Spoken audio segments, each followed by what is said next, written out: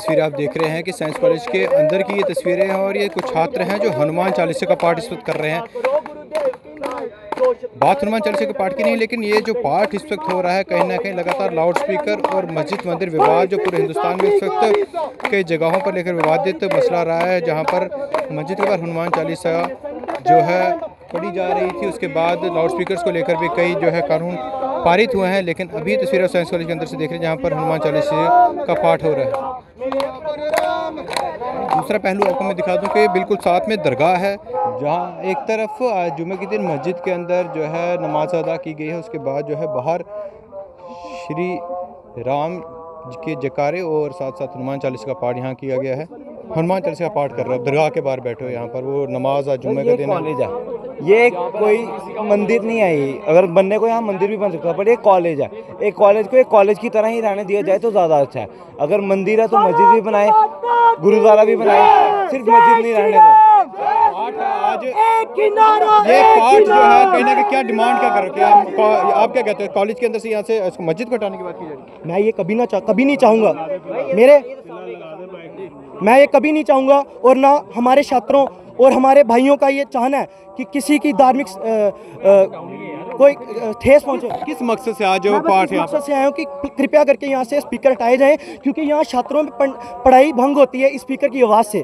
और निराशापूर्व मुझे ये कदम उठाना पड़ा मेरे छात्रों को हमारे सात छात्र जो हैं उन्हें कदम उठाया गया कि क्योंकि हमारी कहीं सुनवाई नहीं होती। इसलिए ये करके आज हम आपके माध्यम से ये बताना चाहते हैं कि हमारे भाई हमारी भी पढ़ाई है हमारी भी पढ़ाई भंग होती है। कृपया करके स्पीकर को हटाइए। सात आठ साल बहुत एक लंबा अरसा होता है लंबा वक्त होता है। कृपया करके बच्चों की भी भावनाएँ समझे और बच्चों को भी समझे कि वो क्या कहना चाहते हैं क्या नहीं कहना चाहते। अगर अगर रोज हम हनुमान चालीसा का पाठ करें डीजे लगा के या स्पीकर लगा के फिर सब आ जाएँगे जी। फिर सब आ जाएँगे कि पढ़ाई हमारी भंग होगी जी। कॉलेज एडमिनिस्ट्रेशन को कोई आपकी तरफ़ से दिया गया इसका डिमांड जी काफ़ी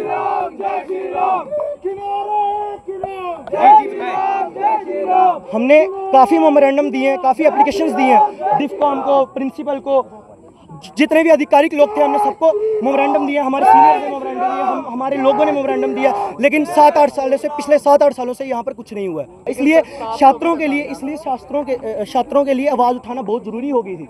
और सब तंग थे इस चीज़ से। मैं कभी नहीं चाहूँगा, मेरे भाई भी हैं काफ़ी, जो गैर मजहबी है, मेरे मेरे दूसरे धर्म से बिलोंग करते हैं और वो मेरे भाई हैं।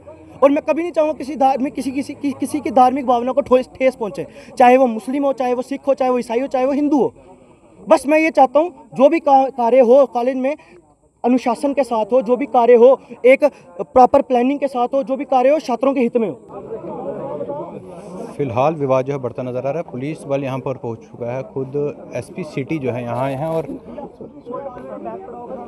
बात कर रहे हैं उन छात्रों से फ़िलहाल जिनको जो यहाँ पर पाठ कर रहे थे।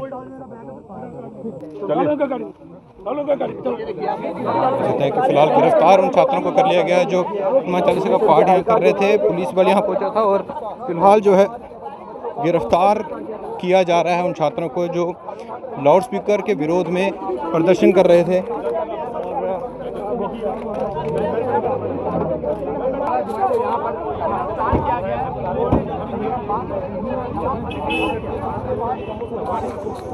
आप सिर्फ़ बता दें कि हनुमान चालीसा का पाठ अभी कॉलेज प्रीमिसेस में हुआ जिसके पुलिस की एंट्रेंस हुई है और डिमांड वो कह रहे हैं लाउड स्पीकर को लेकर काफ़ी देखो, आपके आगे भी मेमोरेंडम जो है देखो देखो है। ऐसा है कि देखो ये एक एडमिनिस्ट्रेटिव मैटर है ये कॉलेज का मैटर नहीं है।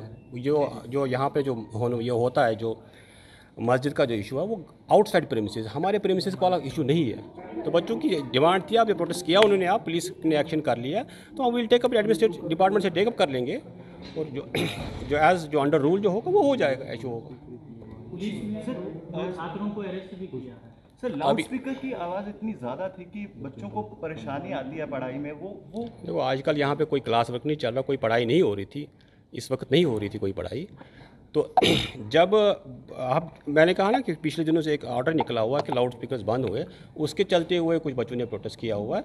एडमिनिस्ट्रेशन के साथ टेकअप करेंगे पुलिस से आप टेकअप करेंगे जो उन्होंने अगर बच्चों को अरेस्ट किया तो क्या कारण है क्यों करें उनको ऑर्डर रात के दस बजे से लेकर सुबह छः बजे तक है बच्चों का देखो दिस एन एडमिनिस्ट्रेटिव मैटर हम इसका इसका मैं नहीं कर सकता हूँ ना। कुछ छात्र थे जो अंदर दरगाह है वहाँ पर नमाज़ यहाँ पर अदा की जाती है लाउड स्पीकर के विरोध में हनुमान चालीसा का पाठ कर प्रदर्शन किया जा रहा था और ये मांग की जाती है कि लाउड स्पीकर को हटाया जाए। उसके बाद पुलिस बल यहाँ पहुँचा है और तमाम उन छात्रों को जो है फ़िलहाल गिरफ्त में लेकर यहाँ से ले जाया गया है। बाकी भी टेक, उनकी तमाम बड़ी अपडेट्स को डिस्ट्री प्राप्त करने के लिए व्हाट्सअप कर सकते हैं। हमारा व्हाट्सअप नंबर है nine seven two eight two five three double six three तुम सवाल के साथ Rohit Sharma. Take Jammu.